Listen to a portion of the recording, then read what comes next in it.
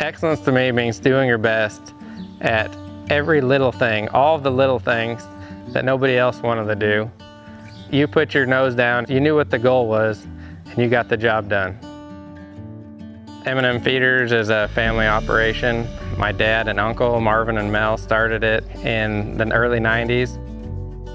I mean, I just remember growing up when, you know, I was just just short and little and falling asleep on the floorboard of the tractor or, or uh, hauling cows to pasture or whatever it was and sleeping in the pickup so dad wouldn't leave you in the morning. And, and, and one big thing about this operation is I get to be with my dad, I get to be with my sister, and my kids get to be with them too.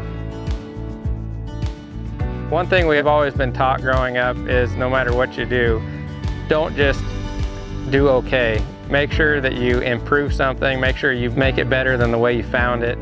Certified Angus beef has been a way that we can be more profitable at this feedlot so that we can continue doing what we're doing and we can pass it on to the next generation. I really care about the animals and so for me it's it's very emotional. It's not just I clock in, feed a bunch of animals, leave, they're on their own type attitude. I, I really put my heart into it. If there's anything wrong, you got to drop everything you do and go help them.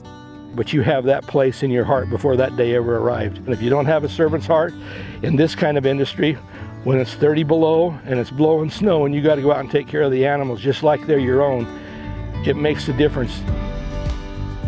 As far as putting a lot of money in the bank at the end of a generation, I don't know whether you do. You just pay for a lot of property, you pay for a lot of equipment, you pay for horses and you pay for horse trailers and, and you enjoy life. But if you get back to the basics, to hang on to your family and keep them close to you, you influence them in their life. That, that would be the most pleasing thing I could think of.